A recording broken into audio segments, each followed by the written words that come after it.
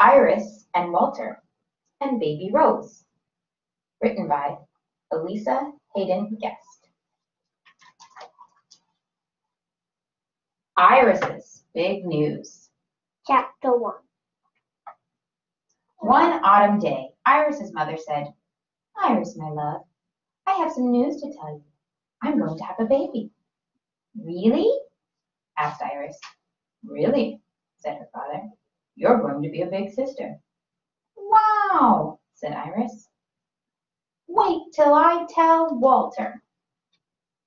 Walter, Walter, I'm going to be a big sister, Iris shouted. Boy, said Walter, you're lucky. We both are, said Iris. It's going to be so much fun. We'll get to push the baby in the carriage. We'll feed it a bottle. It'll be just like playing with a doll. Gosh, said Walter. Winter came, and Iris and Walter went sledding. They rode rain down quiet snowy paths. Some nights Grandpa took them skating under the winter moon. At home, Iris's parents were busy getting ready for the new baby. When is that baby coming? asked Iris. In the spring, my Iris, said Iris's mother. When everything is green, my Iris, said Iris's father.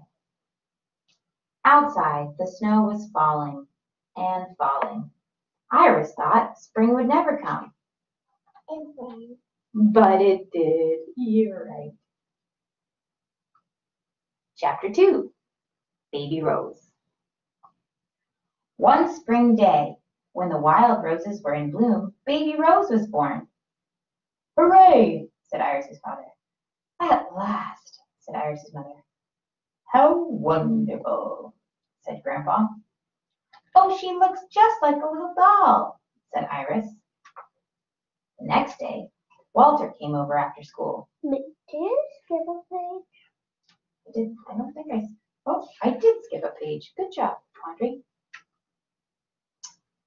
But Baby Rose did not act like a little doll. Baby Rose was very, very, very fussy. Baby Rose is no fun, said Iris. She will be, my Iris, said Iris's mother. Give her time, my Iris, said Iris's father. Baby Rose began to wail and wail and wail.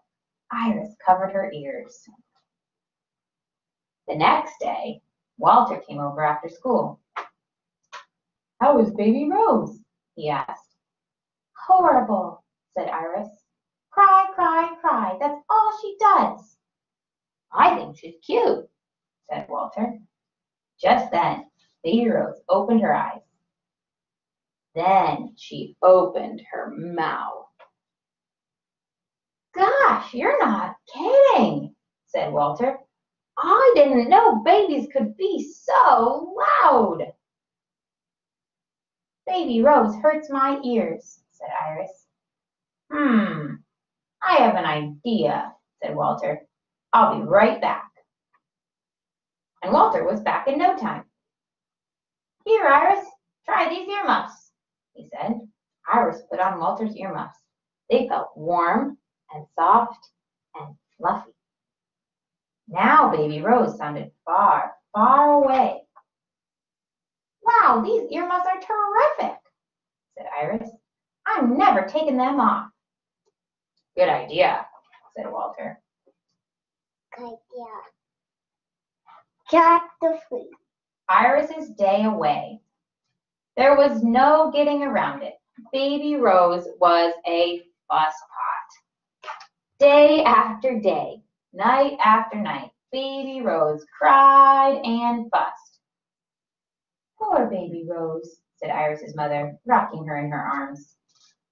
Poor little Rosie, said Iris's father, patting her on the back. But Iris was fed up. Baby Rose is a crabby cake. I don't want to be her big sister, she shouted. Baby Rose cried harder. Stop yelling, Iris, said Iris's mother. That's way too loud, said Iris's father. But Iris didn't care. she stomped outside and slammed the door. Now, now, what's all this fuss about? asked Grandpa.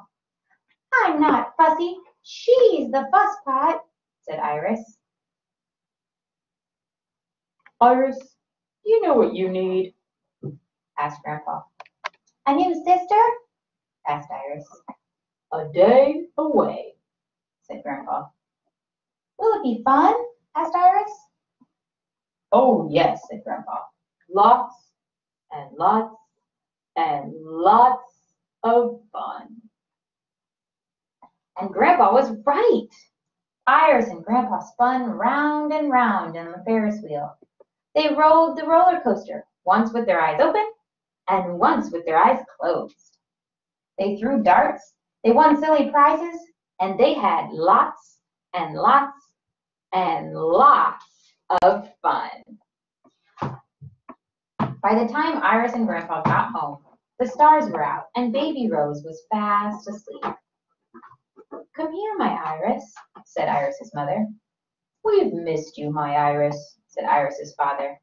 Iris curled up between her mother and her father. Her parents read her favorite books.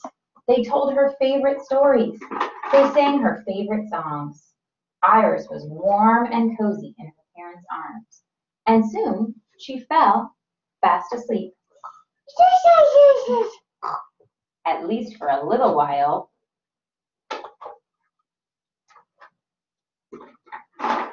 Chapter 4 Baby Rose's Big Sister. Little by little, Baby Rose began to change. She fussed less and less.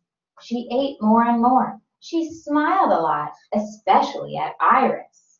And before Iris knew it, she didn't need to wear Walter's earmuffs anymore.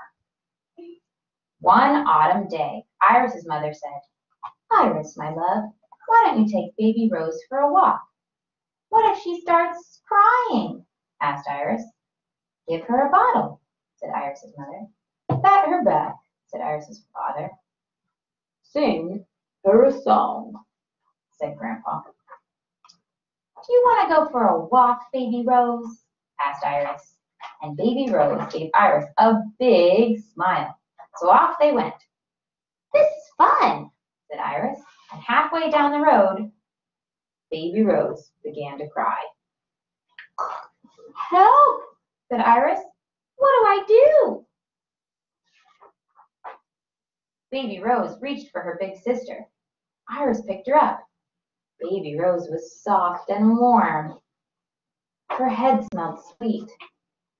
It's okay, Rosie. I'm here, said Iris. Iris gave Baby Rose a bottle and patted her back and sang her a song. And by the time they got to Walter's house, Baby Rose was all smiles. Hey, Walter, called Iris. Come play with Baby Rose. It's fun being a big sister. And it was, at least some of the time. The end. Pull her hair.